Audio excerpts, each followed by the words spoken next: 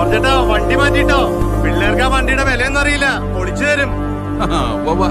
എന്നാ എന്റെ വില എന്താന്ന് അവന്മാരറിയും എന്റെ വണ്ടിക്കിട്ട് അടിക്കാൻ പറ്റിയ കളിക്കാരൻ ആരാന്ന് എനിക്കൊന്ന് കാണണമല്ലോടാ ഡാ, വണ്ടി ഒന്ന് മാറ്റിയിട്ടേക്ക്. കുരുത്തം കെട്ട പിള്ളേരാ.